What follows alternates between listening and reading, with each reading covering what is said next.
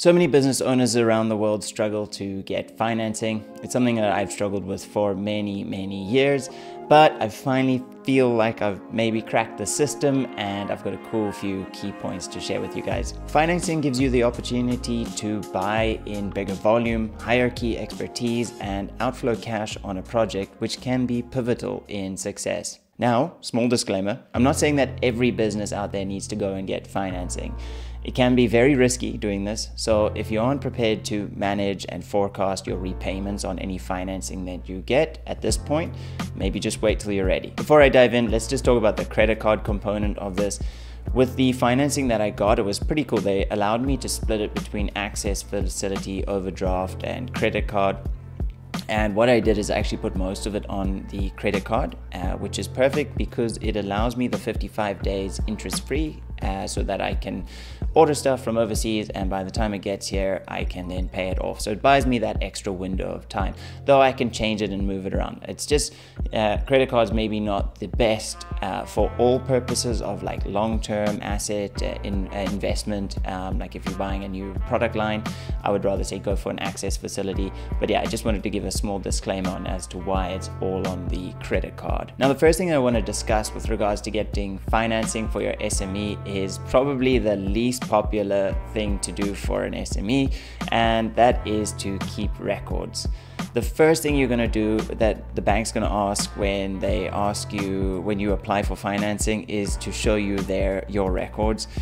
And if you don't have meticulous day to day record keeping, bookkeeping, proper systems in place, unfortunately, that's already going to be uh, uh, you're going to be out of the question for that. So just keep your stuff in an accounting system, make sure that you have these records to present to the banks, and that will be a huge help. Number two, is to have a dedicated business bank. I know when you're starting out, it makes so much sense just to run things through your personal account, maybe just keep records or have a sub account within, like, say, Capitec.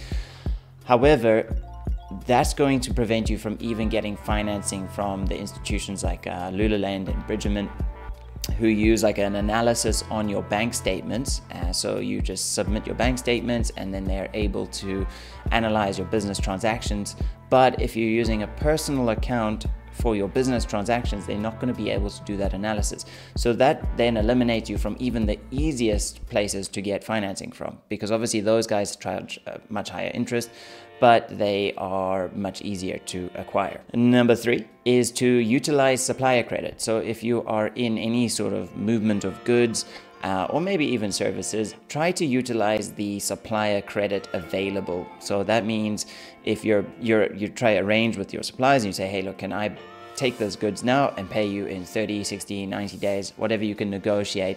And in the beginning, even if you just say, look, you know this is this is our country and whatnot you know you uh, i understand there's a trust thing let's just start off small you know even if it's like the delivery part or even if it's like a few days and then work it up because each supplier that you get will act as a reference for the next supplier and then these suppliers actually do go on some credit applications at banks.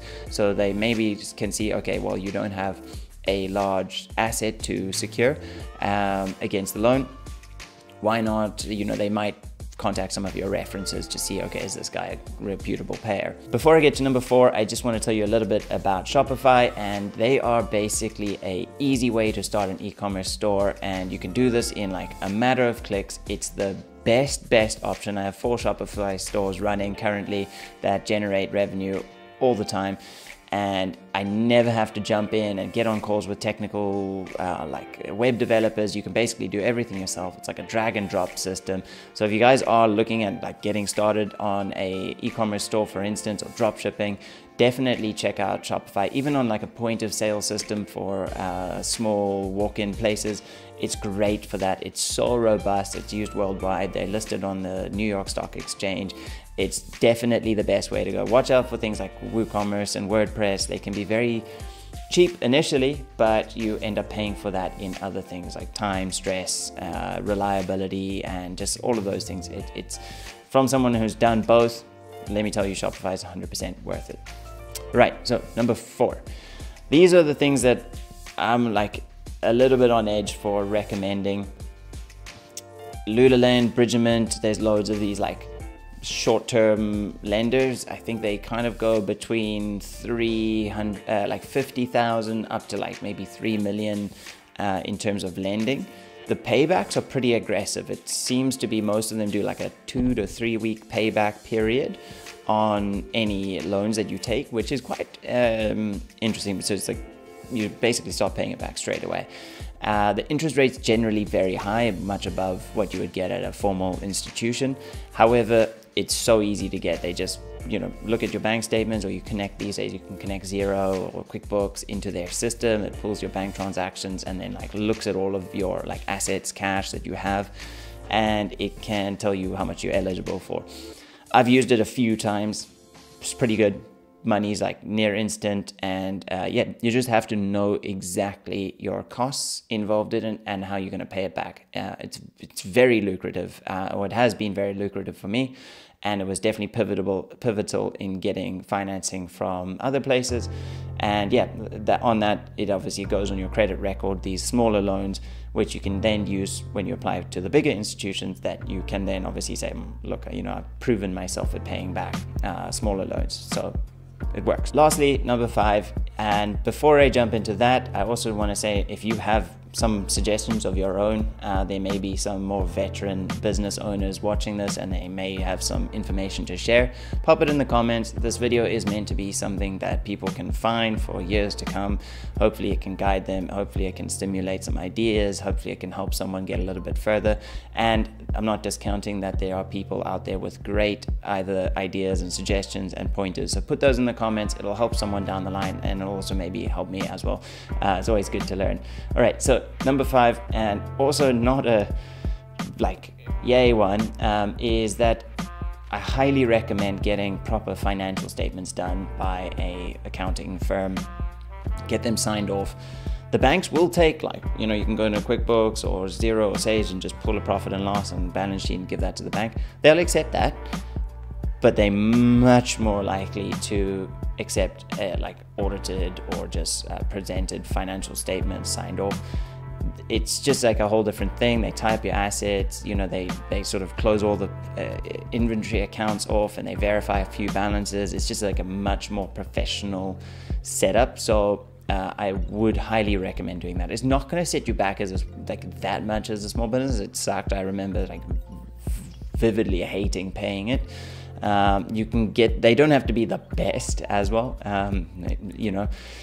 Uh, try to get them as accurate as possible but you don't have to go to like a huge audit firm to get it done. Like it should be like five ten grand um, to get it done. It's worth it if you can.